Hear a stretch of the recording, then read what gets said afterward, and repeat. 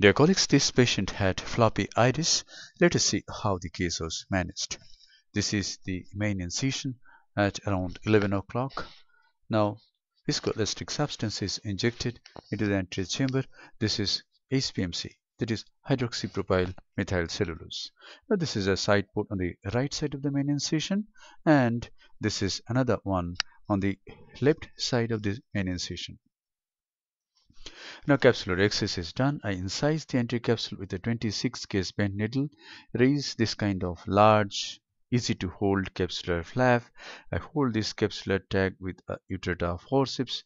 Go anticlockwise. Try to remain at equal distance from the margin of the dilated pupil all around.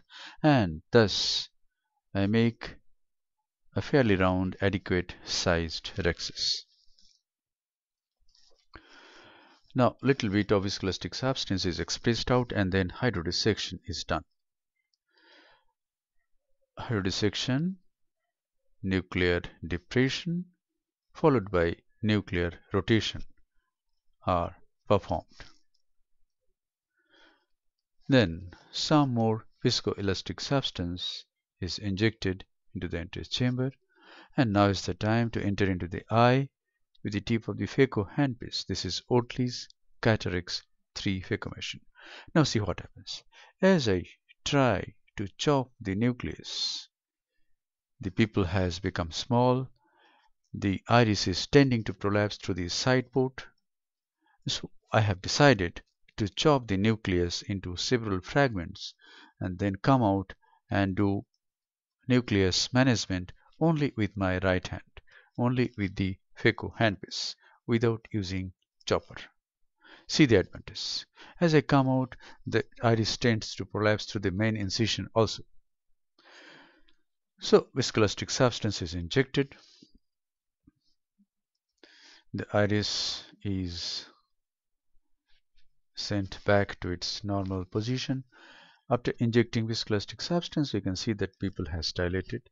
And now see what happens. As I go only with irrigation into the antechamber, see the pupil dilates more.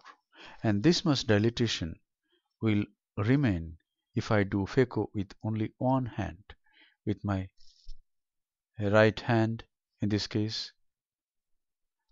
And see how easy it is to hold the nuclear fragments. Just turn the tip towards the nuclear mass, use a bit irrigation and aspiration and the nuclear piece comes. Draw it at the center and emulsify it. This is the last nuclear fragment. It is also emulsified. So it is very easy to do emulsification with one hand, particularly in such cases, cases with IFIS. People will remain more dilated if there is uh, if the chopper is not used the people will not the iris will not tend to prolapse to the side port there will be no picking of people towards the side port and you will be able to manage the nucleus very comfortably. And the cortical cleanup is being done with the help of a 23 gauge direct Simcoe cannula and see the magic of this instrument very fast. It comes out. The only disadvantage is you have to make a little larger side port the side port size is about 1.4 millimeter in this case. And now after cortical cleanup viscoelastic substance is injected in IFIS. Don't use only irrigation for implantation of intraocular lens because the people will tend to prolapse through the the uh, iris will tend to prolapse through the main incision through the side port and you'll have a lot of difficulties. So better to implant the IOL under viscoelastic cover. This is a hydrophilic acrylic intraocular lens.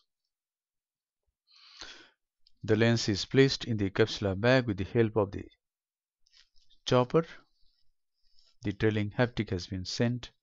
This is a Sinskey hook. It dials the lens into the position. I want to go behind the lens. So the haptics are placed in this case at uh, 2 o'clock and 8 o'clock meridian and now thorough cleaning of viscoelastic substance is done from in front and from behind the IOL.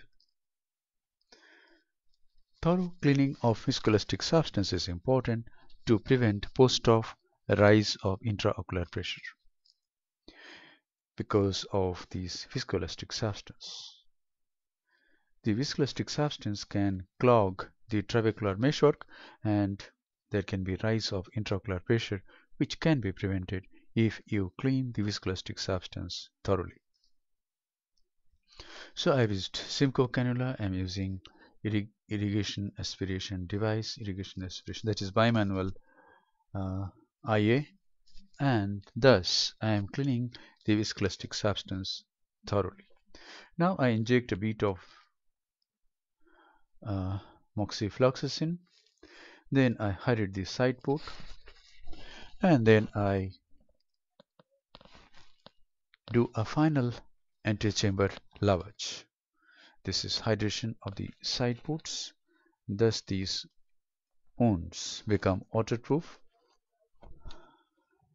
Now I go to higher magnification and clean the viscoelastic substance from the corneal endothelium. A gentle stream of fluid is passed towards the back of the cornea and all the viscoelastic substance gets dislodged and comes out.